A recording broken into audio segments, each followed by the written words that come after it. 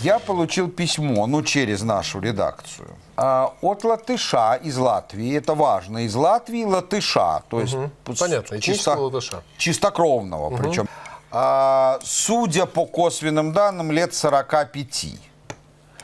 а, который а, с женой а, постоянно нас смотрит, является большим поклонником и глав радио, и книги «Третья империя». И у них есть целый ряд друзей, латышей, которые это разделяют.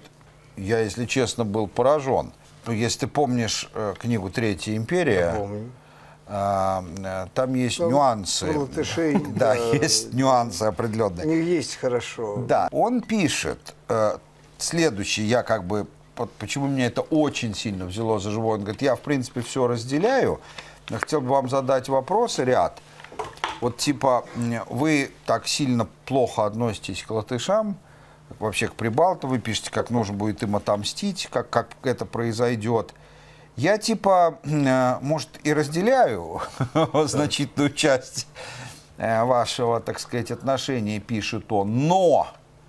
И дальше он пишет настолько глубокие, серьезные вещи. Я вам приведу только одну. Он пишет, что вот вы плохо понимаете, что такое немцы, а мы хорошо в Европе знаем, что такое немцы, которые... И вот у вас в книге «Третья империя» описано, что их там, в общем-то, там более-менее любят. При, том- относятся при том, что да. он, они и вам сделали в истории много зла, и всей Европе.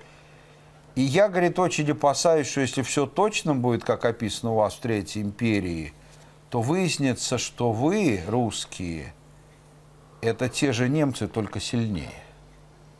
И это не есть гуд. И, и и вот А в чем проблема с немцами-то, я не понял.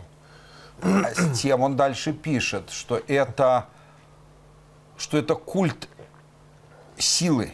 Силы и порядка в смысле силы. Понятно. Да, о- о- он там глубочайшие вещи дальше пишет о связи с православием. Короче, я ему буду писать днями ответ серьезный, ну, естественно, он станет публичный.